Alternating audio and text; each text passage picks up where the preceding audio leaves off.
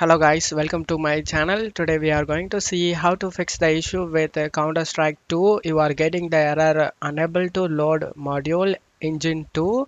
Let's fix it guys.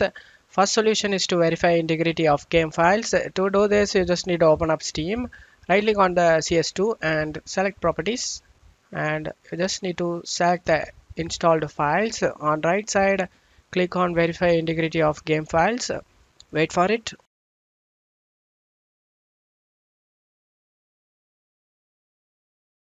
After finishing this you just need to close stuff here and now click on the game and select the play option and check if the problem solved or not. If this solution doesn't work for you then let's move on to the second solution guys. The second solution is to update your graphics card. To do this you just need to right click on the start icon and select device manager. Expand the display adapter section and note the name of your graphics card and now you just need to open a browser search for nvidia and you will be get uh, the official site nvidia drivers downloads click on it. And now you just need to select the options over here. After selecting all options you just need to select search. This will provide you the latest update of your graphics card and you will be get the result of the updated driver guys you just need to select the download option. Select download. It started downloading wait for it. After getting download done you just need to click on it and install it guys.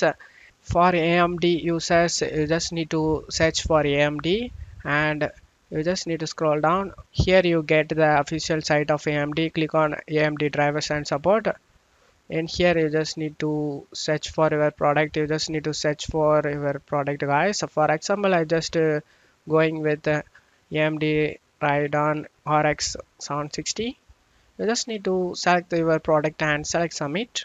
And you will be get the drivers for your graphics card guys. You just need to select the windows depending on your pc in my case i am using windows 11 i just need to select the download option and download it and after downloading it you just need to install it guys.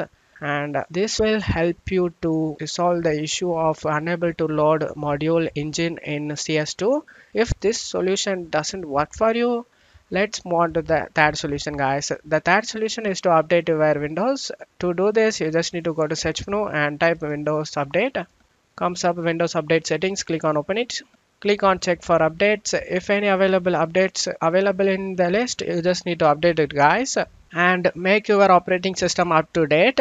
And after doing this close off here. You just need to check the minimum requirement for playing counter-strike 2 the requirement of uh, Counter-Strike 2 is Windows 10 64-bit operating system. If you are in Windows 7 or Windows 8, Counter-Strike 2 will not work and you will be getting the error of unable to load module engine 2 nextly if you have a cpu athlon or phenom you need to upgrade your gpu because they are outdated and it is not supported by counter-strike 2 so if you doesn't meet the minimum requirement you are not able to play counter-strike 2 and you need to upgrade your cpu as well as gpu to play the game guys.